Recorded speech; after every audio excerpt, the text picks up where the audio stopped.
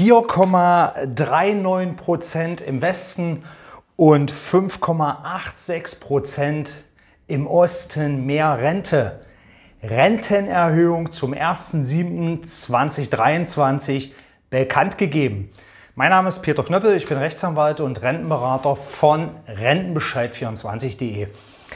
Nun haben wir endlich die Zahlen schwarz auf weiß auf dem Tisch. Hubertus Heil, Bundesminister für Arbeit und Soziales, hat am Rande seiner Kanada-Reise äh, bekannt gegeben, dass die Renten zum 1. Juli in Westdeutschland um 4,39 Prozent und in Ostdeutschland um 5,86 Prozent steigen. Damit gelte in West und Ost dann ein gleich hoher aktueller Rentenwert. Wegen der höheren Lohnsteigerung im Osten werde die Rentenangleichung äh, Ost ein Jahr früher erreicht, also im, zum 1.7.2023 als ähm, ursprünglich zum 1.7.2024 erwartet. Meine Damen und Herren, damit bewahrheitet sich es wieder. Zum einen die Rentenerhöhung, die Ankündigung kommt immer so am 20. März 20, äh, 2023 oder immer am 20. März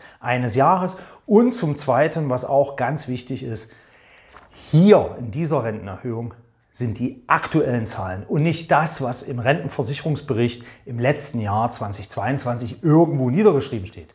Das heißt also, die Rentenerhöhung fällt offensichtlich mit 4,39 Prozent im Westen doch höher aus als die prognostizierten 3,5 Prozent und im Osten mit 5,86 Prozent doch wohl auch ein wenig höher aus als die prognostizierten 4,2 Prozent.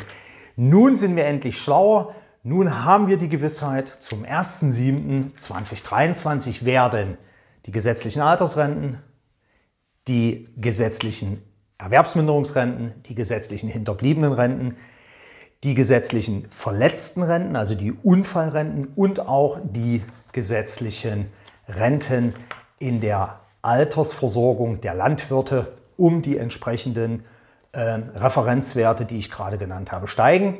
Gleichzeitig steigen auch zum 1.7.2023 die äh, Einkommensfreibeträge in, bei der Witwen- und Witwerrente. Ich finde, keine schlechte Rentenerhöhung. Natürlich bleibt sie unter den äh, Inflationsbedingungen, aber dennoch immerhin kein schlechter Pfennig Geld, den die Rentnerinnen und Rentner 21 Millionen im Jahr 2023 zum 1.7.2023 mehr bekommen. Von dieser Rentenerhöhung profitieren selbstverständlich die Bestandsrentner und auch die Neurentner, also diejenigen, die ab dem 1.7. erstmals eine Rente bekommen. Ich finde keine schlechten Nachrichten. Näheres zu diesem Thema finden Sie auf www.rentenbescheid24.de. Ich wünsche Ihnen und die Rentenerhöhung 2023 eine rentenstarke Woche. Ihr Rechtsanwalt und Rentenberater Peter Knöppel.